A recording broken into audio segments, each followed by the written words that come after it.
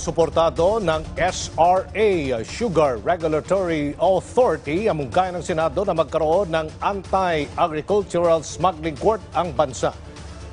Dahil na rin yan sa laganap na smuggling ng mga agri-products sa bansa na nakakaapekto naman sa pagtaas ng mga presyo nito.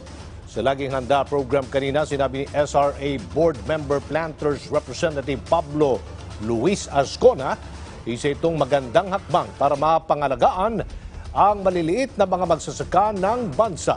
Lalo't sila ang unang pinaka-apektado sa mga pagtaas ng presyo ng mga agri-product ng dahil sa smuggling. Samantala sinabi naman ni Ascona na hindi muna mag-aangkat ng raw sugar ang bansa, sapat pang supply nito mula sa mga local farmers. personally, sir, as a farmer, um, laking tuwa po yun sa amin para po kasi uh, pag nag import sir, ng agricultural products, yung malaking tama po is sa farmer talaga.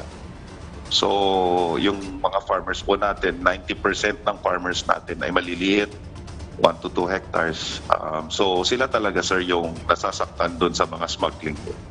So, it's a very good move.